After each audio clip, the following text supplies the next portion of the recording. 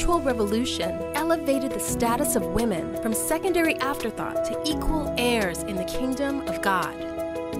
Eve was created to know and walk with God and to make him known to others by reflecting his character in her life. Although the world is full of suffering, it is also full of the overcoming of it. Forgiveness is a virtue of the brave.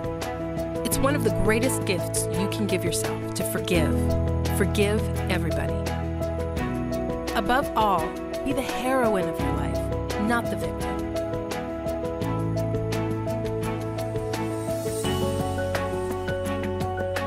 I rise.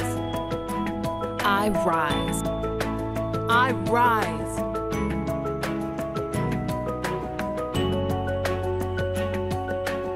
We must fully invest all of our gifts for the honor of God.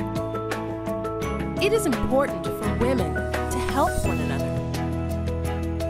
Each person must live their life as a model for others.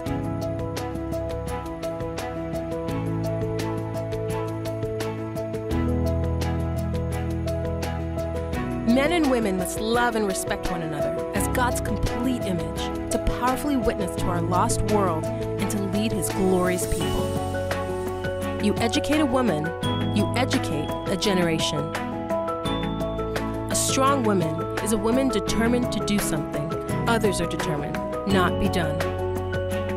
We must believe that we are gifted for something and that this thing, at whatever cost, must be attained.